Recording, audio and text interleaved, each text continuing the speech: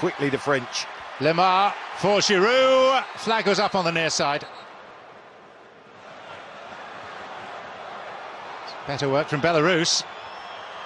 Now the shot wasn't too far away. Lloris made the dive. It was Yuri Kovalev, the debutant, cutting off that right flank. Well, showing great pace down the right-hand side to lead Digne and then... Digne. Giroud. First half chance for Giroud, but good defending because the ball delivered and you can... Digne. Giroud. Whistler gone. And Lemar with the corner. And Varane! First need for athleticism from the visiting keeper, Chernik. Four waiting. Giroud! Crossbar and out again. Still in play with Griezmann. Matuidi, Belarus rocking. They find that final pass. Matuidi, Griezmann! Just like that. And surprisingly, John, it went through the middle rather than the flanks. But it is such an incisive pass into Griezmann's feet. And when he's one-on-one with a goalkeeper, there's absolutely no doubt that the ball's going to end up in the back of the net. This young man has such confidence. He really is a wonderful goal scorer. And he takes it beautifully.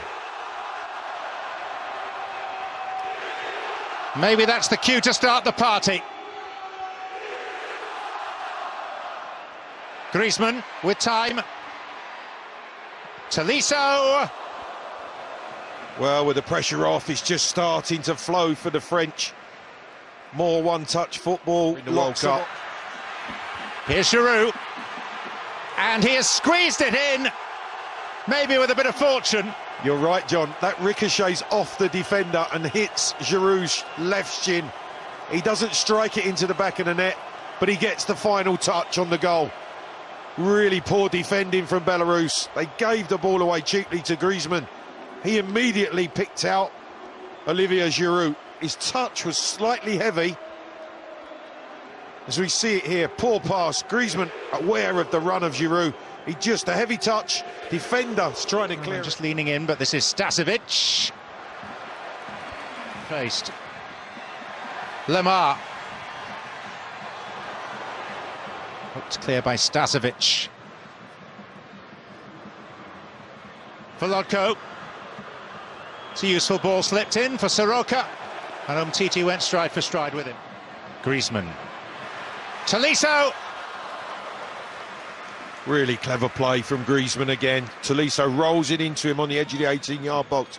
Just eases it back into... Soroka!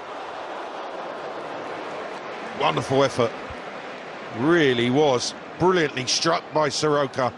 As this ball is not cleared efficiently by Umtiti, the half volley offers itself. Two from France, two from England, two from Germany, one from Italy. There's Soroka again! This time Belarus are on the map and on the mark. And France producing a sloppy end to the first half, introduce an element of doubt to the night's proceedings. Well, it's quite incredible, isn't it? The way that France seem to just keep shooting themselves in the foot. This is... Well, that is half-time. And it's not as comprehensive...